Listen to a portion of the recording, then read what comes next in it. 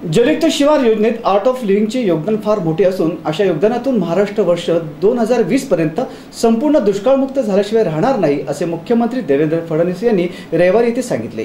नवी मुंबईच्या सीवूड परिसरात आयोजित आर्ट ऑफ लिव्हिंगच्या महासत्संगाचा शुभारंभ करताना ते बोलत होते. यावेळी आर्ट ऑफ लिव्हिंगचे प्रणेते पद्मविभूषण श्री श्री रविशंकर उपस्थित होते. त्यांच्या हस्ते मुख्यमंत्र्यांचा सत्कार करण्यात आला.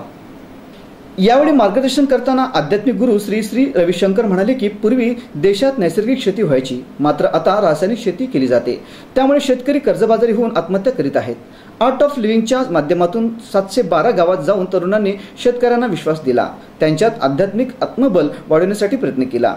श्री श्री रविशंकर यांच्या कार्याचा गौरव करताना मुख्यमंत्री म्हणाले की गुरुजी हे आपले संस्कृती आणि महान परंपरेचे जगातील राजदूत आहेत. महाराष्ट्राशी गुरुजींचे एक जिवाळ्याचे नाते आहे. गुरुजींनी केवळ चांगले विचारच व्यक्त केले नाहीत तर ते प्रत्यक्षात कृतीत आणले असल्याचे ते म्हणाले.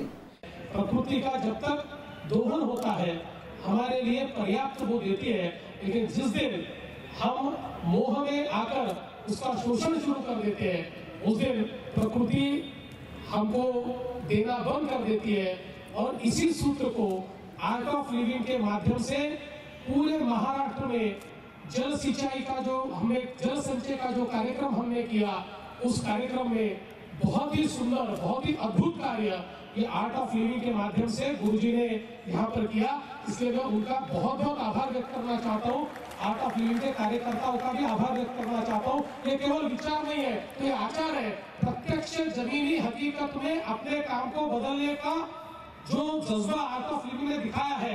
आज गाँव गाँव में वहाँ पर नदी हो, नाले हो, वो सारे रिक्लेम हो रहे हैं। हमारी जो नैसर्गिक संपदा है, उसको रिक्लेम किया जा रहा है। और ज़मीन पर आर्ट ऑफ़ लिविंग के कार्यकर्ता काम कर रहे हैं। मैं गुरुजी, आपका बहुत बहुत आभार व्यक्त करना चाहता हूँ कि आपने जो कार्य, सच में अद्भुत कार्य इस महाराष्ट्र में किया है।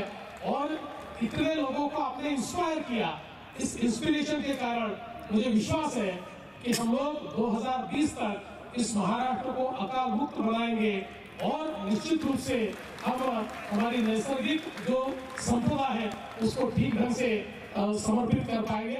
यावेळी आमदार प्रशांत ठाकूर आमदार मंदा म्हात्रे महापौर सुधाकर सोनवणे यांनी देखील गुरुजी श्री श्री रविशंकर तसेच मुख्यमंत्र्यांचा सत्कार केला.